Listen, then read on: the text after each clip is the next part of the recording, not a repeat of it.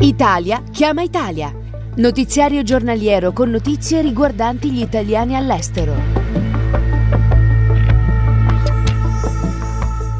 Benvenuti a un nuovo appuntamento con Italia Chiama Italia, questi fatti che affronteremo nell'edizione di oggi di lunedì 29 novembre 2021.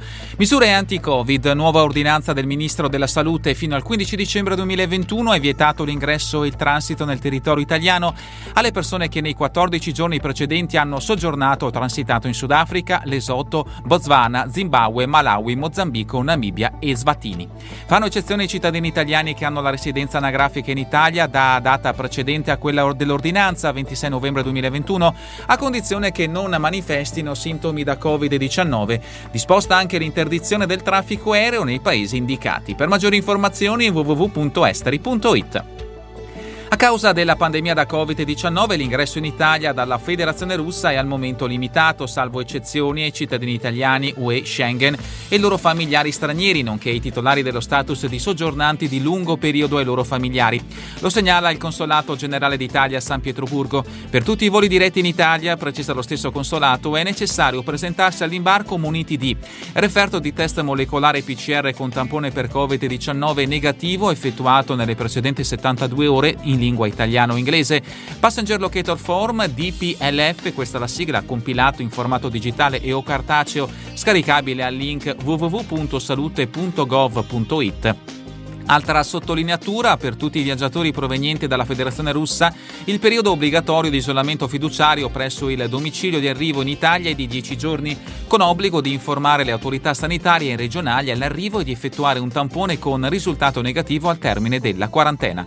Per quanto riguarda i cittadini russi, l'ingresso in Italia è consentito solo in presenza di documentate circostanze eccezionali, quali relazione affettiva comprovata e stabile anche senza convivenza con cittadini italiani, UE, Schengen, soggiornanti di lungo periodo al fine di raggiungere l'abitazione domicilio residenza del partner in Italia, esigenze di lavoro o di studio o motivi di salute, assoluta urgenza, rientro presso il proprio domicilio, abitazione o residenza.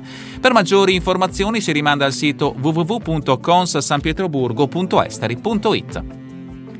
Il Consolato Generale d'Italia a Londra rende noto che attiva una procedura di assunzione per 20 impiegati a contratto temporaneo, 6 mesi eventualmente rinnovabili una sola volta, da adibire ai servizi di assistente amministrativo. I requisiti di base richiesti sono aver compiuto il diciottesimo anno di età, essere di sana costituzione, essere in possesso di diploma di istruzione secondaria di primo grado. Le domande di partecipazione potranno essere inviate entro le 9 ora di Londra del 3 dicembre 2021. Dettagli e avviso completo sono disponibili sul sito sito www.conslondra.esteri.it. Ultima notizia e altro avviso di assunzione. Indetta infatti dall'ambasciata d'Italia negli Emirati Arabi Uniti una procedura di selezione per l'assunzione di un impiegato da adibire ai servizi di collaboratore amministrativo presso l'Istituto Italiano di Cultura di Abu Dhabi. La figura selezionata sarà assunta con contratto a tempo determinato della durata di sei mesi. I requisiti per candidarsi sono aver compiuto il diciottesimo anno di età, essere di sana costituzione, essere in possesso di diploma di istruzione secondaria di secondo grado equivalente. La scadenza per presentare presentare le domande di partecipazione è fissata alle ore 18 del 15 dicembre 2021. Dettagli e avviso completo sono disponibili sul sito www.ambabudabi.esteri.it.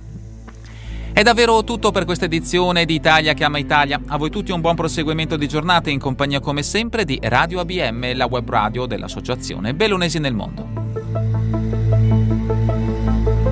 Italia Chiama Italia Notiziario giornaliero con notizie riguardanti gli italiani all'estero.